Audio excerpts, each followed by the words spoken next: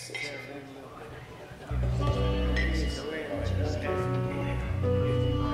don't care about race.